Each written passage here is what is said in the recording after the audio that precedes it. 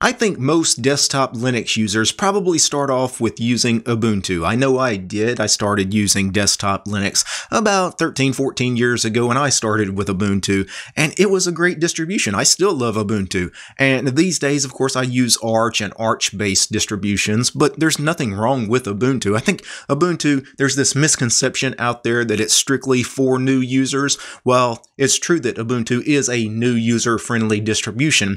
You don't have to be a new user to use Ubuntu. You can be a power user. You can be a very experienced Linux user and still do everything you want to do with Ubuntu. And today what I wanted to do is I wanted to take you guys through, especially those of you that have been on Ubuntu for a few months or maybe a couple of years. Maybe you want to up your game a little bit. I'm going to show you how I would customize Ubuntu to make Ubuntu a little bit more power user friendly. So we're going to go from noob to power user using Ubuntu. So let me switch over here to this VM of Ubuntu 2104. This is a virtual machine that I spun up for this video, and it's pretty much stock vanilla Ubuntu 2104. Now, uh, you know, to pimp this out a little bit to make this more for power users, I think one of the things I really want to spend some time customizing first is the terminal and the command line because I think most people assume that, you know, desktop Linux power users spend all their time in a terminal, all their time at the command line, and that's kind of true actually. I spend a lot of time actually in a terminal, so that's going to be one of the first things that that I really want to spend some time customizing and tweaking to my liking. So I'm going to open up the default terminal here. This is the GNOME terminal in Ubuntu, and I'm going to do Control Shift Plus to zoom in. So let me control shift plus to zoom in so you guys can see the commands I run. Control shift plus zooms in, control minus zooms out. So the very first thing that I want to spend some time customizing is this very plain vanilla command prompt. I don't like that command prompt. I would like something a little sexier. So what I'm going to do is I'm going to install this command prompt called Starship. Starship works with the bash shell, which is the default shell on Ubuntu. It also works with ZSH and the fish shell. And uh, you can install Starship on Ubuntu using snap. So if I did a sudo snap install uh, Starship and give that just a minute. It may take a, a minute or two to download. No, it installed very quickly, actually. Now to actually enable the Starship prompt, what we need to do is edit our bash config, which is the .bash RC file in your home directory. If you did a ls-la here in your home directory, you will see that you should have a file called .bash RC. Now what you want to do is you want to edit that file. So edit that using a text editor. The default text editor on Ubuntu is called gedit. It's called text editor in the menu system, but the actual program name is gedit. So do gedit space dot bash rc and it will open the .bash RC file in gedit. Now, I'm going to go into preferences here. I'm going to make this font a little bigger so you guys can uh, better read it. So let's see. Will it actually let me change the font? Yep, so I'm going to change the font size to change it to 16 just so it's nice and big so everybody can see what I'm doing here. And what you want to do is you want to go all the way to the bottom of your bash RC and then you want to create a new line. So I'm going to get my prompt down here and I'm just going to go down here and I am going to paste this line right here. And then this line that says eval and space then double quotes, dollar symbol, and then parentheses, starship init bash, and then closing parentheses, closing double quote. And what that's telling bash is, hey, when you launch into a, a fresh bash shell, load the starship prompt. Now, what you want to do is you want to save this. So I'm going to click save, then I'm going to close gedit.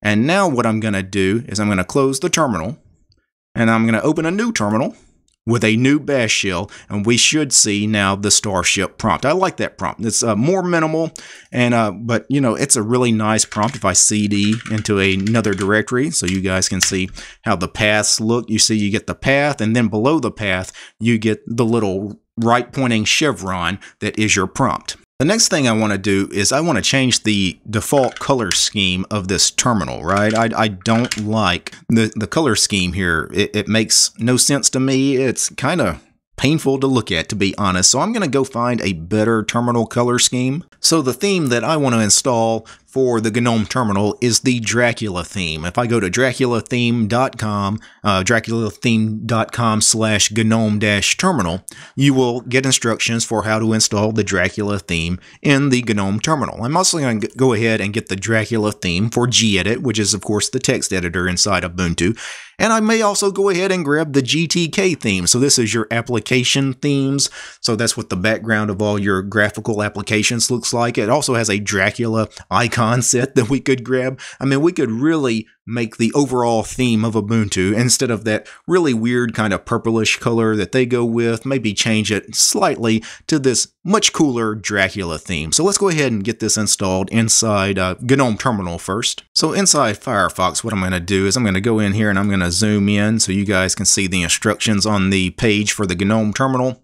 And what we need to do is we need to enter uh, about four commands at the uh, command prompt. So First of all, I'm going to copy uh, sudo apt install dconf CLI. I'm just going to copy that and then open a terminal. I'll zoom in here so you guys can see me paste that into the terminal here. And then I'm going to run that command. All right, so we ran that command. Let's go back and run the next one, which is a git clone command. And let me, I'm trying to copy it without copying the dollar symbol in front because the dollar symbol is not needed. That's just a representation of the dollar symbol that's typically uh, as part of the command prompts themselves. Uh, so let me git clone. Git is not found, so make sure to sudo apt install git first and hit yes. And now that that is installed, I'm going to up arrow a couple of times in bash to get the git clone command one more time. And now it should work now that git was installed. And then the next thing we need to do is cd into gnome dash terminal. That's such a short command. I'm not even going to copy and paste that. I'm going to do a cd space and then gn and then I'm going to tab and it'll auto-complete that for me. So let's cd into that directory. And then finally, we need to do a uh, install.sh. We need to run that shell script.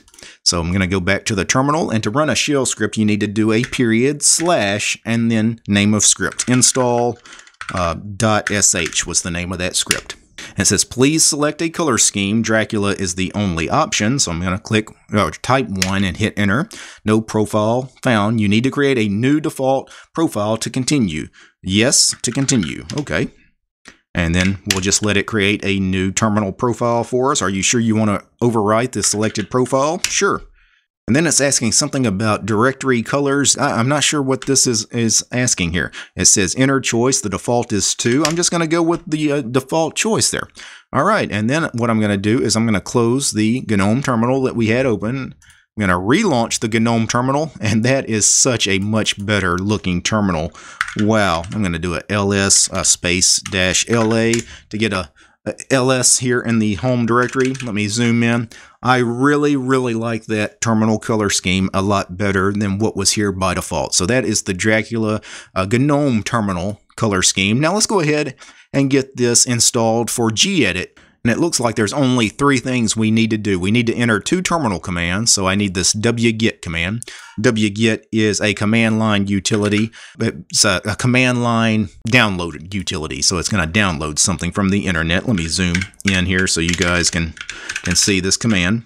We're going to wget that URL there and it's going to download the Dracula.xml file, and the XML file is a, uh, a, a, file format that gedit uses for plugins. Then I'm going to go back to the web browser here. The next command we need to enter is this command here, so I'm just going to copy and then go back to the terminal and paste that. What it's going to do is move the Dracula XML file to the correct directory that it needs to go in. It says it cannot move Dracula.xml to home, DT, local share, gedit styles because it's not a directory. So I guess that directory doesn't exist. So what we could do is we could make dir and then I'm going to copy this. So I'm going to do a copy and then a paste. I'm going to do mkdir for make directory and then the path to that directory. And then I'm going to up arrow back to the mv command, so move dracula.xml to that directory. And now that we've done that, the last thing we need to do is activate in gedit's preference dialog. So we actually need to open gedit to make the changes take effect, we need to go into preferences, we need to go into fonts and colors, and there is the Dracula color scheme. I'm just going to select that, and now we have the Dracula color scheme. I'm going to go ahead and open the file picker here. I'm going to do .bash rc, just so you guys can see what the bash rc inside gedit looks like. Very, very nice. So now we've got the Dracula theme inside GNOME Terminal. We got the Dracula theme inside gedit. And lastly, I thought I would go ahead and download the Dracula GTK theme, just so all our graphical applications have the Dracula colors assigned to them. So the instructions say download this .zip file. So I'm going to go ahead and click that link. And it's asking, what do we want to do with it? I'm going to click save that file. And it's going to save it, of course, to the downloads directory. So I'm going to open up our file manager. I'm going to go into downloads, and there is gtk-master.zip. And then it says to extract the zip file to the themes directory at user share themes. So first of all, I'm just going to right click on it, and then I'm going to do extract here. And there is the directory extracted. Now we need to move this directory from our downloads directory to user slash share slash themes. The best way to do this would be using the command line because we need sudo privileges really to do this. So what I'm going to do is I'm going to clear the screen here. I'm going to cd into the downloads directory and do an ls and you see gtk-master and what we want to do is we want to move uh, gtk-master to slash user slash share slash themes and cannot create directory GTK master because we did not give ourselves sudo privileges. So sudo mv GTK master user share themes and give it your root password. And now what we need to do is to activate the theme in GNOME, run the following commands in the terminal. So this should just be a quick copy and paste. So let's copy that and then go back into the terminal and you see that the theme actually did change. You see, uh, instead of a dark theme, now we have a white theme. And then lastly, we need to copy, I guess, this line here. So copy that, go back in the terminal, and then do another paste. And now, let's see what our, our themes look like. Uh, actually, I don't want to close that yet because I, I probably want to go back in and get the uh, icon theme too. So let me go ahead and click on the download link for the icon and then save that. And once again, it's going to save it to the downloads directory here. So let me go ahead and extract the zip from there. And that folder, Dracula, that's the name of the icon set is Dracula, that needs to go into user share icons. So let's go back into the terminal. And once again, do an ls. We're in the downloads directory, I think. Nope, we're not in the downloads directory anymore. So let's cd back into downloads. Do an ls, and you see we have the Dracula folder there. That's the icon set. And now we need a sudo move Dracula. And we need to send that to slash user slash share slash icons. Let's hit enter, give it a root password. And I think that should be everything that we needed to do on that. And now I can close all of the Dracula tabs, close the file manager. Now, out of the box, Ubuntu really doesn't have a way to change uh, themes as far as themes you went and installed manually your, yourself like we just did with Dracula because uh, by default uh, the only way to change themes is if you go into settings. Here the settings manager and go into appearance. It just lists the standard Yaru themes that Ubuntu ships with out of the box. So what we need is to install a third-party package here. So we need to install sudo apt install gnome-tweaks give it your root password. And then once that's finished installing, let's go ahead and launch GNOME-tweaks. So hit the super key and then start typing GNOME-tweaks and hit enter. And now go to appearance and now go to applications and I'm going to click the drop down menu and let's see what are the available ones. GTK-master, that is the Dracula theme. Uh, the cursor theme, we didn't do anything with cursors. The icon theme is Yaru. Let's change that because we added a Dracula icon theme as well. And then once we have that set, wow, I really like that icon set. Let's open up the file manager and see how that looks with the Dracula theme. Yeah, that's really, really cool. I, I'm really digging this. so now that we got the file manager and the terminal, and the text editor all set to the same theme. Well, let me resize uh, gedit here. I forgot I had it full screen. How do we not make this full screen? Can I actually resize gedit? I'm so used to using tiling window managers and not, you know, having to actually click on a border of a window to resize. I kind of lost the ability on how to do that. All right, let's go ahead and close all these windows. Now that we have the Dracula GTK theme and everything, what we really need is an appropriate wallpaper that actually matches the Dracula colors. So I'm going to go ahead and open Firefox again, and then let's go ahead and Google Dracula theme wallpaper. Surely there's got to be some collections of Dracula wallpapers out there. There are, and a matter of fact, it's from the official Dracula website, draculatheme.com slash wallpaper and it looks like there is an entire wallpaper pack of various wallpapers. It looks like they're going to take forever to load because there's a million of them. I'm going to do Control F inside Firefox for a find in page, and I'm going to search for Ubuntu, and there is the Ubuntu wallpaper. And if I right click on it, and let me go ahead and open image in new tab, and now I'm going to click on that image and save image as, and I could save that image anywhere. I'm just going to save it into the pictures directory. And I'm going to click save. And you know what I could do, I could actually right click on it. I could set image as desktop background. That way I don't have to go and move that image to a, to a different directory, you know, where wallpapers should be located, which is typically in user share background.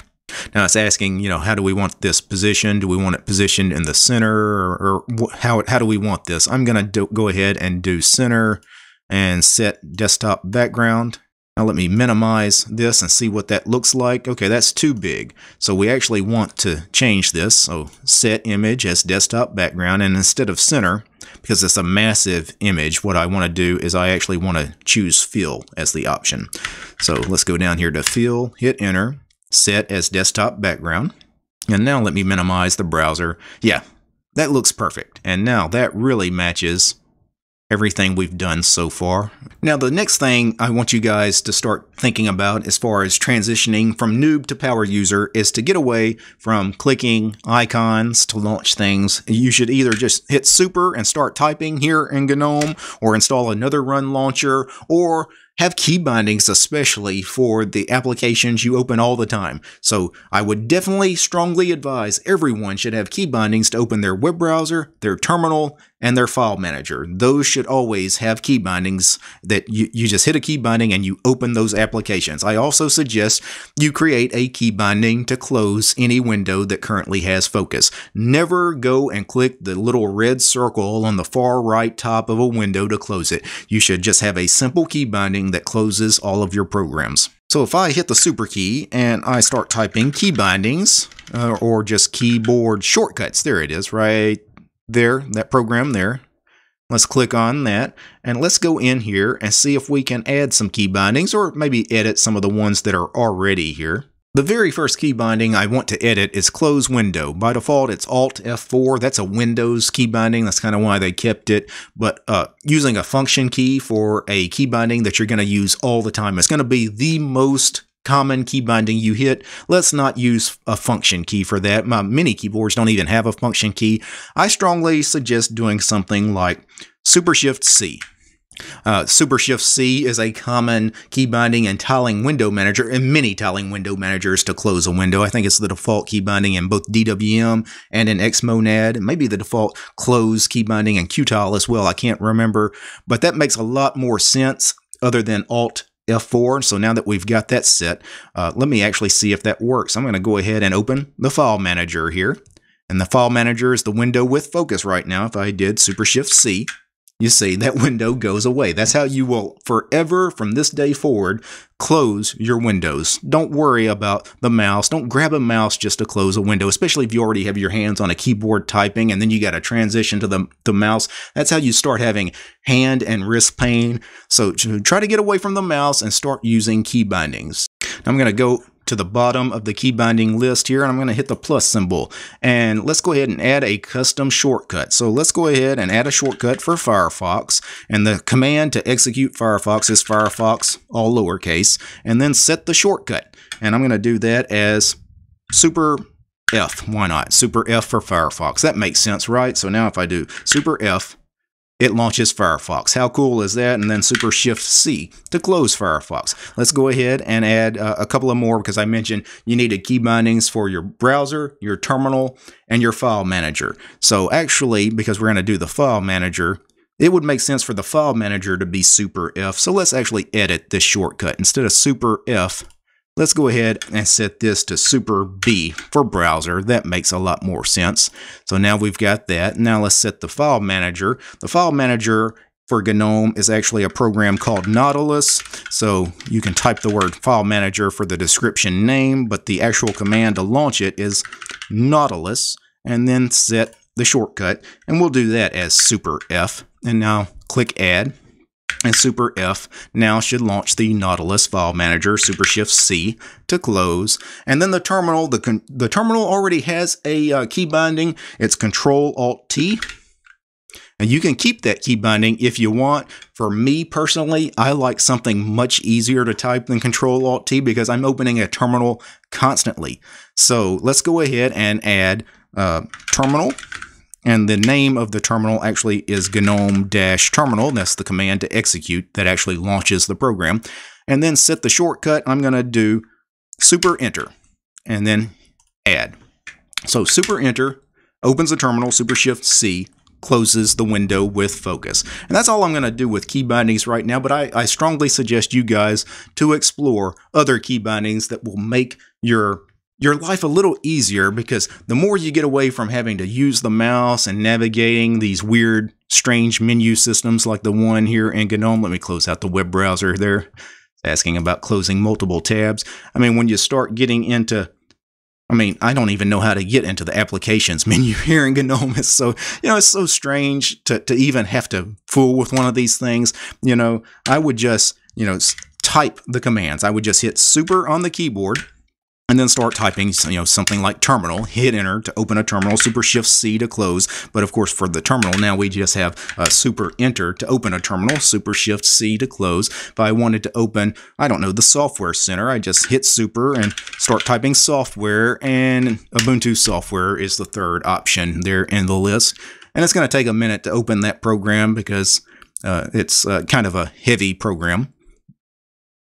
And there's the software center trying to load. There's probably having to do a, a, sync of the repositories as well. One thing you should probably do is not use the graphical software center in Ubuntu, especially if you're trying to transition from noob to power user. What I would do is I would open a terminal and let me zoom in so you can see learn to use the apt package manager. That's the command line package manager. So here's how this works. So to install software, you need sudo apt install name of program.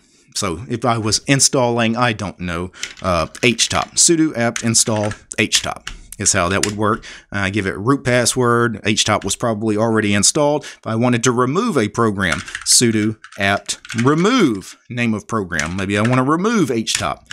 You know, I just it's asking me, do I really want to remove it? No, I don't. I kind of like HTOP as a program. Now, if you didn't know the exact name of a program, or if you're not sure if that program is even in the Ubuntu repositories, you could do a apt search name of program. So apt search htop. You don't need sudo privileges to search because you're just doing a search. You do need sudo privileges though when anytime you install or remove software. And of course I get a list of all the programs that had htop as part of the name or as part of the description. The one I want of course is that one there. Now to update the system you need sudo privileges because that involves installing software. So sudo apt update and and sudo apt upgrade is how you update the repositories and then upgrade all the packages that have updates available. This is going to take a second. It's going to update the repositories, and then I, I, I, did an update recently, so there were no packages to update. Now let me close this terminal with Control-Shift-C. Now, one of the things I like to do is, you know, as far as a power user, let's get into some really nerdy stuff. So let's talk about the startup applications on the system. So I'm going to do startup. Let's search for startup applications here. And these are all the programs that launch on startup in this VM. Now, uh, after you install a ton of software on the system, again, this is kind of a new VM, so this list is not very long for me, but you may have 10, 15 things starting up when you first log into Ubuntu. And sometimes that slows the system down because you've got so many things trying to start up all at once. You guys, especially on older hardware, you probably have, have experienced this where it takes like two minutes for your full desktop environment to finally load because so much stuff is trying to launch. Now you can enable or disable some of the startup stuff, but if it's stuff that you really need to start up, uh, but you don't want everything trying to start up at the same time, what I would do is kind of delay the startup process for some of these. For example, Nextcloud here, I've got the Nextcloud uh, desktop client installed in this VM. It's not installed by default on Ubuntu. I added that, but what I could do is, you know, if I wanted to delay Nextcloud from starting up, you know, with every other program, because it takes a while for Nextcloud to load and everything, what I could tell it to do is this is the command that is running on startup. It's launching Nextcloud in the background. But instead, maybe I want it to sleep for 10 seconds. So do sleep space 10 and then semicolon. Semicolon means, hey, I'm done with this command then run this command. So we wanted to sleep for 10 seconds and then run the Nextcloud command. So now when I first log in to Ubuntu now, all my startup programs are going to start up, but Nextcloud is going to wait about 10 seconds before it starts up. So that might help the startup process as far as you know save some of the congestion that's going on with so many programs that are trying to launch all at once. Another kind of power user tip that i sometimes play with ubuntu because uh, it, ubuntu does things a little differently than some of the other distributions that i run. Let me launch a terminal. I'm going to type reboot. I'm going to go ahead and reboot this vm and notice we don't get any kind of grub screen right? We we just you know, um, when I reboot, I immediately get this Ubuntu splash screen here. We never had a grub menu, so I, I never could, you know, choose a different kernel if there were multiple kernels installed or anything like that. You know, we just quickly get to our login manager and that's that. And uh, this VM has a little bug where it doesn't display the output immediately. Just give it a second, and there we go. But sometimes I like seeing the grub menu displayed, right? Because on most Linux distributions, you actually get a grub menu. So here's how we would enable the grub menu here on Ubuntu. First, I'm going to hit super enter to get our terminal. Remember that I added that key binding. So uh, what we need is sudo privileges, and then we need a text editor. We'll use gedit. sudo gedit, and I'm going to do slash etc slash uh, default slash grub, I believe is the name of the file. Give it root privileges. And there is that. Uh, I need to go back in here and make the font bigger. I, I, guess I didn't save that before. So, or maybe it's a problem because I'm the root user now. The root user, I guess, has different settings than the regular user. Select that and close that. All right, I'm going to make the uh, text editor here full screen. What we want to do is go down to this line that says, uh, well, you can't even read that. The line that says grub timeout style equals hidden, I'm going to change that. I don't want that to be hidden. I want that to actually be menu. So grub timeout style equals menu. I, I, hate that the highlighting is so weird there. And then the next line is actually grub timeout equals zero. That means how many seconds should the grub menu be displayed? If it's set to zero, it's never going to be displayed. So change the zero to something like two seconds, right? So you actually get the grub menu. It's there for about two seconds. So you, if you want to change it, change it in two seconds. If you don't, you automatically, you know, continue on to the splash screen and eventually your login manager. So now that we've done that, I'm going to hit save here in the text editor, close the text editor. I'm going to type reboot one more time. And we're not going to see the grub menu because I forgot one step here. Let me go ahead and log back in. There was one other thing. You can't just edit the grub config. You also actually have to make grub update itself. You need to do a sudo space update dash grub, give it the root password, and then once that's done, do a reboot. And now we should see the grub screen. And I have two seconds to start moving, you know, doing something on the keyboard. And once I do that, you know, it's not going to get past this screen until I actually click on something. I'm going to click on Ubuntu 2104. I'm just going to go ahead and boot into the, you know, the default kernel. Now, one last thing I would do personally if I was an Ubuntu user, and I know this is not for everybody, But for me, because I do everything with a keyboard, I open all of my applications using a run launcher, you know, and then the, the common applications I have key bindings to, I don't need this dock at all, right? I'm never going to use this dock. So the next thing, me personally, I would go into GNOME Tweaks and I would go into extensions and I would turn off the Ubuntu dock if there was a way to turn it off. It doesn't look like there is. I can use the command line though to get rid of the dock though. So let me do a super enter to launch a terminal. I'll zoom back in here. What I'm going to do is sudo apt remove. We're going to remove a program. The program we're going to remove is gnome-shell dash extension. I just hit tab to complete the extension word and then ubuntu-dock and a, a tab complete completed the entire thing for us. So that particular program is actually the dock here on the side. And if I remove that program, we'll get rid of it. And of course, if later you found out that, hey, I really like the dock, I want to reinstall it, you can reinstall it, no problem. So there's no permanent damage done or anything by removing it. And now that we've removed it, what we should do is actually log out. So let me go ahead and go into log out. Now let's log back in. And now I don't have that uh, useless dock on the left-hand side because I'll never use it now. You know, I can open my terminal, I can open my uh, file manager, I can open my web browser and other programs that I want to use. Let me close all of that. I can just hit super and start typing. Now, I don't know, maybe I want uh, whatever the movie player is. I'll just start typing movie, yeah, videos. And that would be the movie player, super shift C to close. And that's really very usable already, uh, uh, even for me. You know, I, am not the kind of person that the GNOME desktop environment, especially, is made for, but I could happily use that now. With just a little bit of time, the 30 minutes or so I spent there, I'm already pretty comfortable using that desktop environment. So that was just a little bit of what I personally would do as somebody that's used desktop Linux for a long time, and I consider myself a bit of a power user. I spend a lot of time in a terminal and at the command line, uh, do scripting and things like that. I like tweaking the system. That's some of what I personally would do to Ubuntu if I was using it on my main machine. Now, before I go, I need to thank a few special people. I need to thank the producers of this episode. I want to thank Epsy Gay, James Mitchell, Wakami, Allen, Chuck, David, Dylan, Gregory, Urion, Paul, Polytech, Scott, Steven, Finn, Wes, and Willie.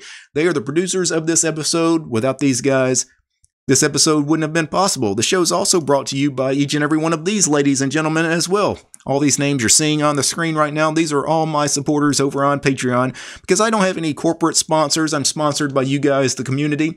If you'd like to support my work, please consider doing so. Look for DistroTube over on Patreon. All right, guys. Peace. Oh, I forgot to install Emacs.